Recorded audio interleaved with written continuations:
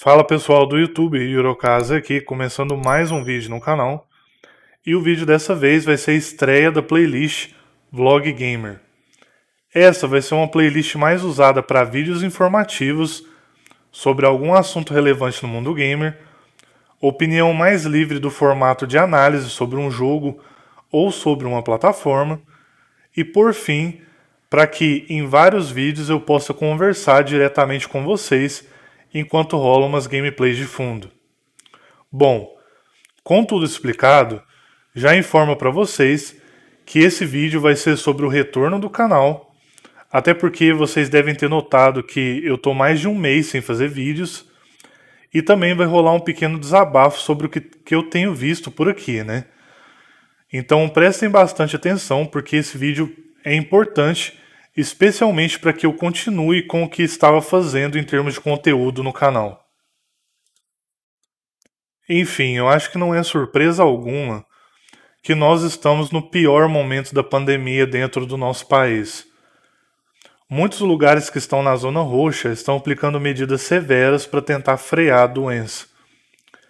Isso meio que já estava acabando comigo por motivos pessoais e tenho certeza que não está sendo fácil para você que está assistindo esse vídeo também.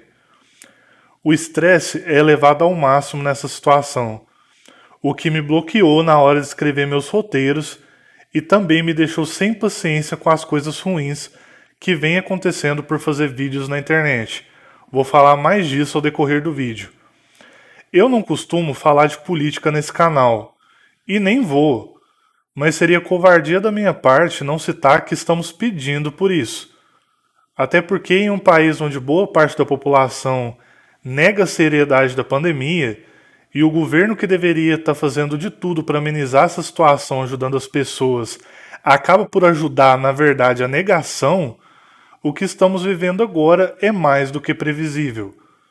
Tendo isso em mente, eu precisei tomar um tempo do canal, porque, gente, nada é pior que a fadiga do isolamento, a preocupação com a família e o estresse com um país que se recusa a sair do buraco. Agora passando aí para a parte dos problemas do canal, sério, eu acho que tem muita gente que vem ao canal sem saber do que o mesmo se trata. Passar por esse tipo de situação que eu comentei agora e ao mesmo tempo lidar com gente sem noção na internet é complicado. Então, pela última vez, eu vou fazer uma explicação do que eu faço por aqui, para não ter mais esse tipo de problema no futuro. Eu tenho certeza que vai ter hater, que vai ter fanboy, que vai ter esse tipo de comentário em todos os vídeos que eu fizer. Eu só não quero que tenha esse tipo de comentário de gente que está inscrita no canal. Porque às vezes a pessoa se inscreve no canal sem saber o que eu o que eu tô propondo de conteúdo para o mesmo, né? Então vamos lá. Meu canal é sobre videogames e às vezes séries, filmes e livros em off, que aliás vão voltar em breve, tá? Tudo que é dito aqui é de opinião pessoal. Eu sempre vou comentar sobre a minha experiência com aquilo que eu joguei, assisti ou li. Muitas das vezes nos meus vídeos eu aconselho no final a melhor maneira para você ter a sua experiência. Até porque eu desaprovo e muito que você baseie a sua opinião em cima da minha. Muitas das vezes você pode gostar de algo que eu odiei. Infelizmente, tem gente que não entende isso, que vem com ofensas nos comentários, e também para falar de notinhas de sites como Metacritic, por exemplo. Gente, eu vou dizer aqui para vocês, eu jogo videogame desde os 4 anos de idade. Eu comecei a jogar no Master System. Para descobrir se um jogo é bom ou ruim, eu faço isso jogando. Por favor, não venham até mim achando que eu sou desses imbecis dessa geração atual que só jogam game com notinha boa, ou mesmo são iludidos pelas opiniões vendidas de influencers na internet.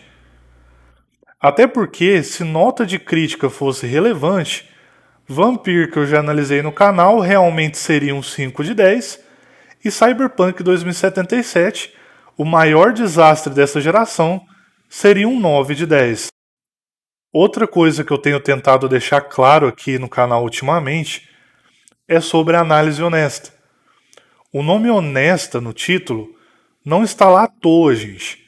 Essas análises são a minha visão honesta sobre o jogo que eu joguei. Infelizmente, as pessoas não entendem muito bem a honestidade. Honestidade não é eu falar exatamente o que você quer escutar ou o que a crítica fala do game. Eu vou dar um exemplo aqui.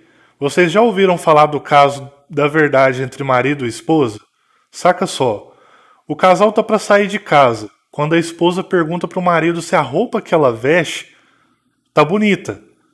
E junto à pergunta, ela exige honestidade ou sinceridade na resposta. Bom, quando o marido responde que não, a esposa simplesmente vira a cara e emburra em muitas das vezes. Isso se aplica a tudo, meus amigos. As pessoas clamam por honestidade, por sinceridade, mas muitas delas não sabem o que estão pedindo ou não estão preparadas para isso.